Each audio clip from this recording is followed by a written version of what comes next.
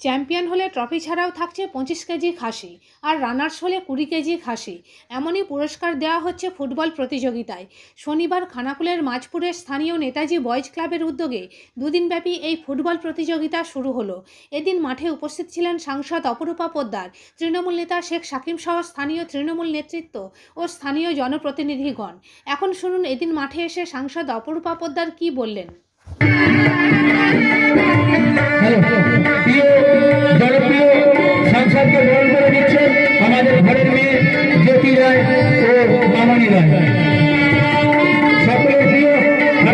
লোকসভা কেন্দ্রের উন্নয়নের কান্ডারি আমাদের ঘরের মেয়ে জনপ্রিয় সংসদ মাননীয়া অপরূপা প্রজ্ঞান মহাশয়কে।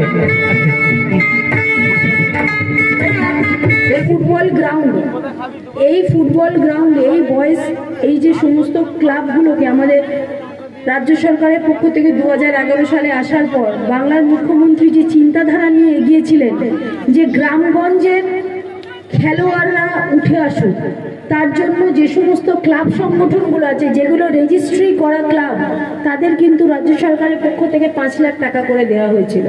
প্রথমে দু লাখ, তারপরে পরবর্তী ক্ষেত্রে এক এক লাখ করে। যারা হয়তো এই ক্লাব রেজিস্ট্রেশন করানো হয়নি, সেই জন্য তাই আগামী দিনে এই ক্লাব রেজিস্ট্রি করা হলে নিশ্চয়ই এটা নিয়ে রাজ্য সরকারও চিন্তাধারা, চিন্তাভাবনা করবে, কারণ এখানে আমাদের অনেক তপশিলি পাড়াও রয়েছে। আমাদের সাংসদ, আমার সাংসদ তহবিল থেকে আমি এই পিচ রাস্তা, এই রাস্তাটাও যে কংক্রিট রাস্তাটা এটাও কি আমি করে দিয়েছি। এই মাঝপুর আমাদের প্রাথমিক টোটালটাই করে দিয়েছিলাম এবং মাঝপুর আমাদের যে প্রাথমিক বিদ্যালয়, সেখানেও আমি স্কুলের একটা রুমের টাকা দিয়েছি। এখানে হাই হাইমাস টাওয়ারও দিয়েছিলাম।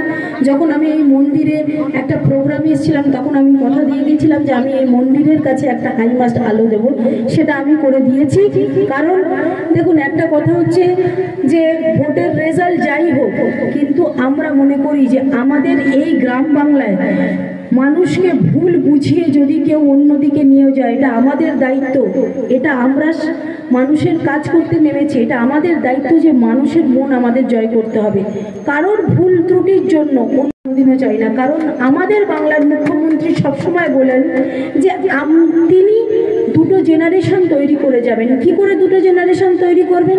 এখান থেকে খেলোয়াড় তৈরি হবে, এখান থেকে ভালো ডাক্তার তৈরি হবে, এখান থেকে ভালো প্রফেসর তৈরি হবে, তার জন্য কি করেছেন? আরামবাগ লোকসভা কেন্দ্রে তিনি গ্রিন ইউনিভার্সিটি মা সারদার নামে করেছেন রানী রাসমণি নামে করেছেন, আমাদের প্রফুল্ল সেনের নামে মেডিকেল কলেজ করে দিয়েছেন পলিটেকনিক কলেজ করে দিয়েছেন আরামবাগে।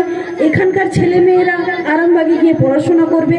আরামবাগে ফোর লেন রাস্তা হচ্ছে যাতে আগামী দিনে খুব সহজে আমরা কলকাতা পৌঁছে দিতে পারি এবং আমরা পশ্চিম মেদিনীপুর বর্ধমান পৌঁছে দিতে পারি। এই যে চিন্তাধারা, এই যে জেনারেশন তৈরি করার কথা বারবার আমাদের বাংলার মুখ্যমন্ত্রী বলছেন, এর মধ্য দিয়ে উন্নয়নের মাধ্যমে আমাদের ক্লাবগুলোর মাধ্যমে, ক্লাবরাও কিন্তু সামাজিক উন্নয়নে সবচেয়ে বেশি সহযোগিতার হাত বাড়িয়ে দেয়। যে কোনো দুর্যোগের সময় আমরা দেখেছি যে এই বছরই আমরা আরামবাগ সাব ডিভিশনে আমরা তিনবার বন্যা দেখলাম।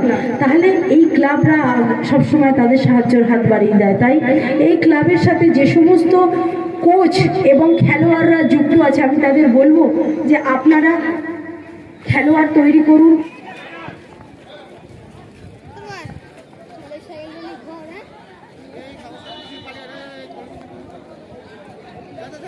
站住！站住！打他一！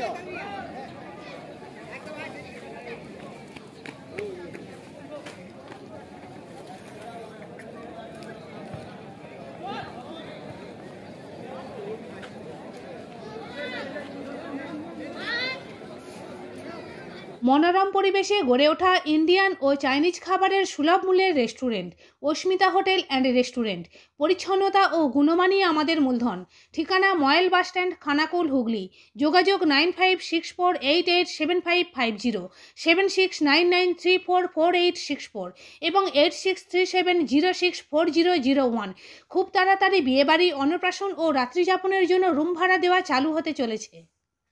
আসন্ন পৌরসভা নির্বাচনে আরামবাগ পৌরসভার ছ নম্বর ওয়ার্ডের তৃণমূল কংগ্রেস প্রার্থী স্বপন কুমার নন্দীকে ঘাসের উপর জোড়া ফুল চিহ্নে বোতাম টিপে বিপুল ভোটে জয়যুক্ত করুন। আপনার এলাকার উন্নয়ন অব্যাহত রাখতে আরামবাগ পৌরসভার প্রতিটি ওয়ার্ডে তৃণমূল প্রার্থীদের ভোট দিয়ে জয়যুক্ত করুন।